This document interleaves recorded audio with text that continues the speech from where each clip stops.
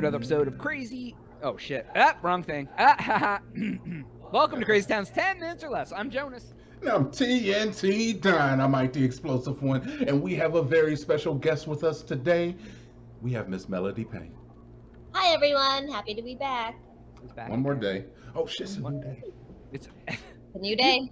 you literally told me you had all the hats laid out, and then you've literally forgot every episode to change them. It's fine though. Oh, there's the there's the new Cavs hat. If, you're, if you aren't Oh. watching on YouTube, you get to see the stylings of TNT's hat collection today and yesterday and the day before. So, anyways, what is the worst job you've ever had? Wow. Wow. Okay, I, I can start off. I feel like I've told this story before. Uh, I once went on an orientation for a pyramid scheme. Did you know at the time it was a pyramid scheme? I didn't know initially it was a pyramid scheme, but I found out it was a pyramid scheme. So what they had us doing is I got into a uh, what's uh, what's an Elantra? I got into an Elantra. It was a it was relatively new with a with a young gentleman, and we were walking through an, a, a, a neighborhood that was a little bit more affluent, I guess, and we were trying to sell fifty dollar coupon books for Subway, Just Subway? Just Subway. fifty dollar coupon book. So we walked around for I don't know, maybe like six and a half hours, seven hours. Uh, you know, we got we got our lunch break in where we went to the gas station. And I was gonna I say, did you go to Subway and use one of the coupons? Yeah, seriously. and but after the day was done, we sold. Uh, actually, we sold like like one booklet, and uh, and then I was like, so how much did you get paid for today? He was like, well, we only sold one. You know, it was just kind of a bad day, but uh, so we don't get paid by the hour. We get paid on commission. And I was like, wait, so there's no base pay? I was Oh my "Are you God." nuts? Are you nuts? Did he tell you how much he made for the one book that you Yeah, sold? what's commission? No, no, he didn't tell me. It has to at least be five dollars. I would hope. It's not enough. I'll tell you that No, much. it's It's, not definitely enough. not enough. That's Yeah, insane. That sounds. So I lasted for one day, and then uh, I've been on the lookout for those those people lately. like I'm I that- always. I've been offered a coupon book in like years. Do they- Yeah, I remember them from as a kid. Like they'd be, they'd sell them at school. They'd be like, "Here, Yeah. there's a there's twenty thousand dollars in savings," and you're like, "But I'm not going to any of these businesses." So Exactly. I, I mean, this was this is from the early 2000s, so you know. yeah, It was a long it's like that time episode of The. Office where they're selling the, they're giving away the coupon book and then for all the screen savings. Yeah, exactly. That's how it is. What about you, Melody? You, have you ever had a job that you just like were like, "Oh no"? Oh my god, This is- so many. Um, one that is really relevant right now because it's so hot outside. Um, I worked at an ice cream store in high school, and we needed a mascot. Our mascot was this giant cow. So it was like a six foot tall cow. I'm five two, so I'm the only person who can fit in this cow costume. Um, no. out of this spot in the cow's neck. So like if I wanted to blow kisses, I'd do this because the mouth was like up here to the little kids. And I'd walk outside. And it was all the freaking little boys, man, who just tackle the shit out of me. So I'd be like rolling around as hot as balls in this costume. And you come out and you're just soaked and you have to finish out your shift scooping ice cream. And it was awful. oh my god, Oh. that, That does sound really bad. I have to say that any like uniforms are bad when you're talking about a job. Uniforms are bad, but a costume is Ugh. is probably the worst. Yeah. Yeah, yeah. I uh mine was uh it was collecting donations for the Fraternal Order of Police. You like it was like a call center where it would like you'd sit down, you had the headset on, and then it would it would pop up and whoever it called and there you had to read the script.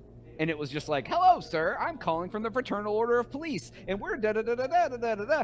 And I remember I only worked there one day because it was I could just tell it would be like the end of my life if I stayed there because the people that lived there they were just like it was like they couldn't wait for cigarette breaks and all 30 of them would go outside and smoke like nine cigarettes and then go back in and you know Mhm. and uh i i had a guy donate to me a hundred dollars on my first day like on one Okay. call and maybe a couple others right and i rem- remember the guy who ran who also reminds me of that office episode where michael gets the job at the telemarketer thing you know what i'm talking about where like he, he has the, he gets that second job and he's working Mhm. it was kind of like that guy, and he was just like, he pulled me aside. He's like, kid, I think you got, I really think you got some talent for this, you know, because I had like the hundred dollar like donation or whatever, and I was like, what am I supposed to be like? Thanks, sir. I'm gra- I'm so happy I can read your script and get people to donate money over the phone. I was like 20, 21 or something, and I just never went back. I was like, I cannot do this. I'd rather just not have money than go than go do this. No. I didn't even keep it long enough to find another job. I was just like, Yeah. that is the worst. Because I've worked other jobs where you're like on a, a phone dialer, but Mhm. like the script is what like is what is soul sucking. Like not only is every call the same, you Yeah. have to like read the script on every single call too. That is uh yeah, that's how you kill someone's soul from inside out. Dang. All I right, have- so so worst job. So what about dream job? Melody, what would be your dream job? She's living it, dude. She's living, she's living her dream job. No, we, I don't. I mean, it's still, if even if it's in the field that you're in now, what would you like from it for like long term? Would you like like a long standing role on a on a hit new comedy that's on television? Would you like to be uh um, partners with a movie studio and do have a your own Mission Impossible starring you? no, probably not feature films. I think I would like to do half hour comedy. Um, Okay. I've also I really like voiceover, so maybe like voicing a Cartoon Network show or something, just like ongoing, something for like a Oh. million. Mm.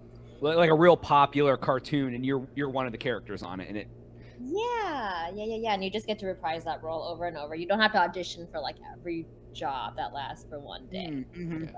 Like like being like a voice actor on The Simpsons, like for say like where it's just thirty years of the same character. Oh my god, I would love that. Yeah, that would be that would be fun. That would be fun. What i- i- what- is that? What you would want as your dream job, or, or is there something other than what you currently do that you would want to do? Okay, I've thought about this because I've thought about quitting so many times. like, fuck Okay. this industry.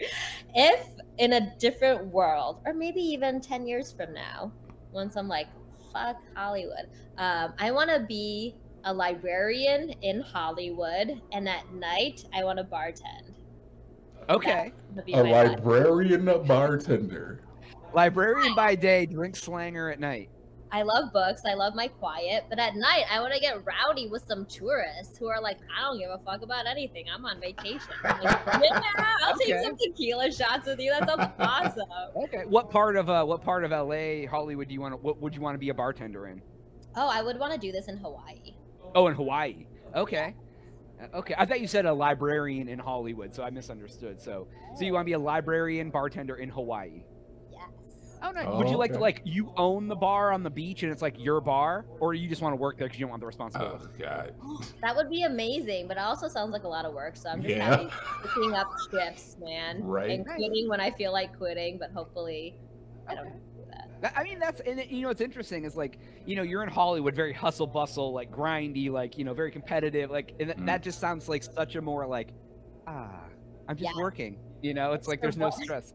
Once I'm burnt out, man, that's where I'm going. Uh, what Oh, about you, okay. TT?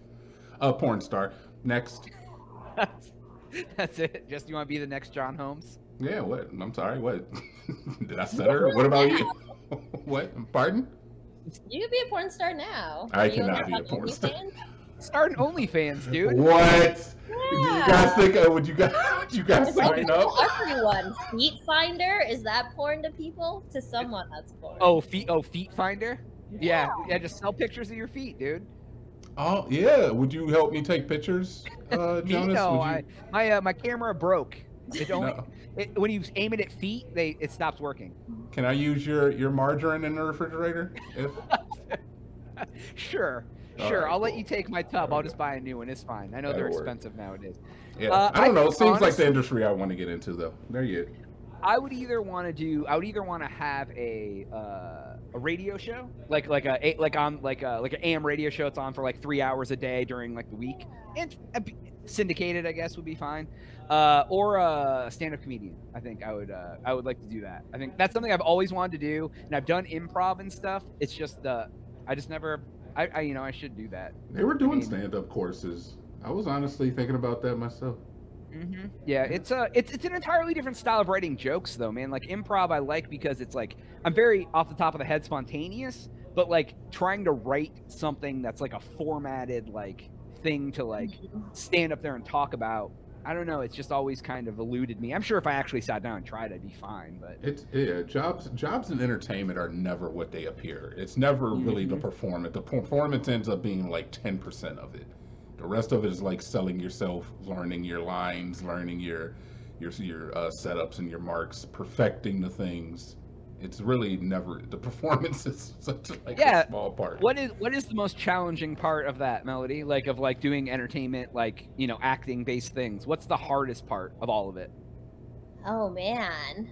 Um I think the hardest part is letting it go once you submit your audition. It's so hard, man, because a lot of times you never hear anything back. Mhm, And then mhm. you have Oh. completely immersed yourself in that role, fallen in love with it, dead silence. You see a preview in a few months and you see the girl who got it or the person who actually got that role and you're just like I want to be supportive, but I like also it's it's like watching an ex's wedding video is how I Oh, that sounds like my experience with dating sites. I get really excited and then then now you're nothing. I'm joking. Well, it's like the people following up being like, "Oh, you would have been perfect for that role. Like, why wasn't it you?" And Wow. Is that is that everybody blowing smoke up everybody's ass though? Is that like kind of like a common Hollywood thing? They're just like, I don't know why you didn't get it. You would have been perfect for it. Is that kind of like a common? Well, it usually comes from people who aren't in the industry, who just like watch that movie or watch that TV Oh, show. okay, and They're like, gotcha, oh, this gotcha. character totally reminded me of you. Like, why wasn't it you? And you're like, I don't know. like, obviously, like I read for it. Like, I hmm. Because it's never it's never about how good you are. It's about who you know. Yeah. What what would you say your success rate is, or what an average success rate? Like you apply, like did you get like try to get try to like is one out of ten jobs that you apply for a good success rate, or is that low? yeah, that or would be incredible. That'd be Oh amazing. that would be We- amazing. yeah, I'll take one out of ten. Uh, for voiceover, well, okay. Say for commercials, maybe one in fifteen. Like I do decently well in commercials. Um, TV, I'm so far like one for maybe a hundred over the past few years, Okay. and then voiceover, it's probably one in every three hundred. oh, because voiceover is probably like a very competitive, right? Because it.